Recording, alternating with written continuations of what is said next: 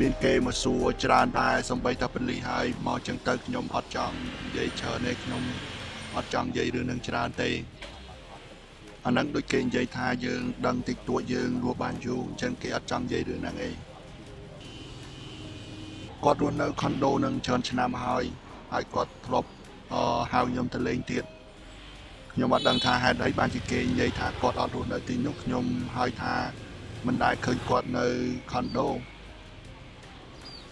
គាត់និយាយច្រើនរឿងយោបាយហើយខ្ញុំអត់សូវយល់ទេហើយគាត់និយាយថាគាត់អត់ចូលចិត្តប្រយុទ្ធគាត់ចូលចិត្តថាស៊ីនហើយដូចថាទស្សនវិស័យគាត់នឹងគាត់ចង់ឃើញប្រជាជនមានសេរីភាពនឹងឲ្យឆ្នាំមុនគាត់បង្ហាញរូបភាពខ្ញុំបើថាបរោះពីរបីនាក់នឹងបានព្យាយាមមករកគាត់អីចឹងណា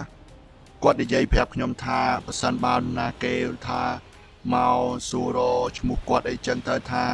កុំឲ្យខ្ញុំប្រាប់អីចឹងឲ្យគាត់និយាយឲ្យគាត់សើចអីចឹងទៅ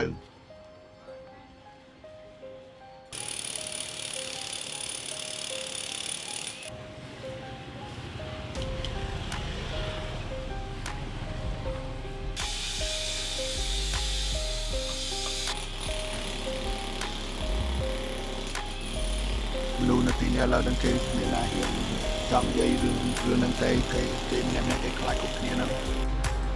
តែខ្ញុំនៅតែគិតថាគាត់នឹងមកវិញដូចថាខ្ញុំមានអារម្មណ៍ថា sorry ហើយ share set នេះអីជាមួយគាត់អីចឹងទៅតែខ្ញុំគិតថាគាត់នឹងមកវិញ